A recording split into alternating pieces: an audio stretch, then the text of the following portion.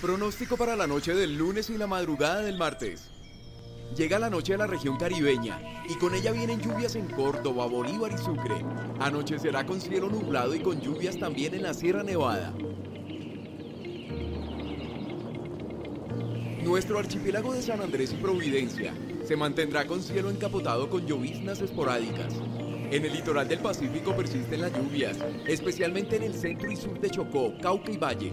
La noche nariñense tendrá lloviznas menos intensas.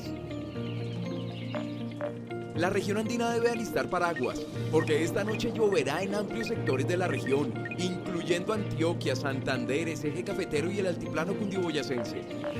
El panorama lluvioso se extiende hasta la Orinoquía, donde la noche caerá acompañada de nubes cargadas y con posible actividad eléctrica, especialmente en Meta, Casanar y Bichada.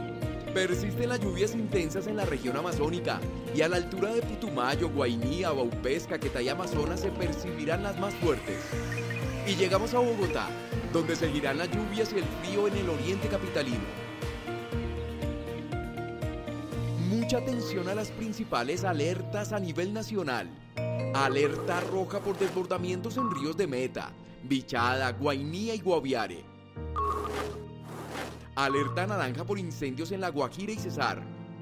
Alerta roja por deslizamientos en Meta. Alerta naranja en regiones Caribe, Andina, Orinoquía y Pacífica. Alerta naranja por viento y oleaje en el Mar Caribe. Manténgase bien informado y en tiempo real a través de nuestra aplicación Mi Pronóstico.